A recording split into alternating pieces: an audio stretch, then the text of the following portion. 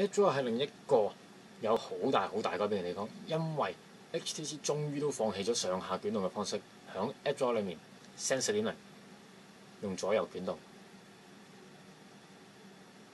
可能係有啲同其他手機相似嘅地方，但係無疑咧比較多人中意咁樣用嘅係，咁順應翻使用者嘅一啲訴求咧，誒、呃、其實我哋係幾欣賞嘅。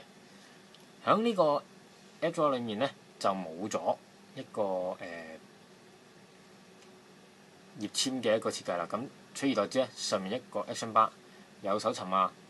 亦都有好似原生版本咁直接入 Play Store。咁選單裏面可以睇到咩咧？選單可以揀排序，同 Send 三點一樣，可以揀分享一個 App。咁撳咗之後就會成個 list 一啲 App 出嚟。咁誒、另外咧可以管理應用程式啦，同埋編輯標籤。標籤咧其實就同 Send 三點裏面嗰一樣。但係咧，如果我哋唔顯示任何一個下載或者常用程式，淨係有全部喺度嘅話咧，就會隱藏咗嘅。咁另外一樣嘢咧，就係佢取消咗誒一個列表方式嘅顯示。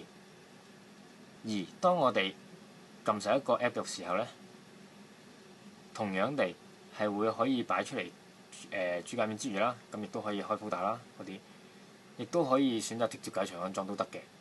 咁呢樣嘢係同原生版本嘅 Android 四零一樣嘅。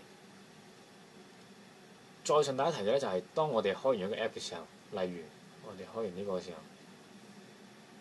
我哋 back 翻出去咧，係會直接顯示翻呢個 app 咗，而唔係翻主界面。咁對於成日要用唔同 app 嘅朋友嚟講咧，呢個係一個好好嘅改變嚟嘅。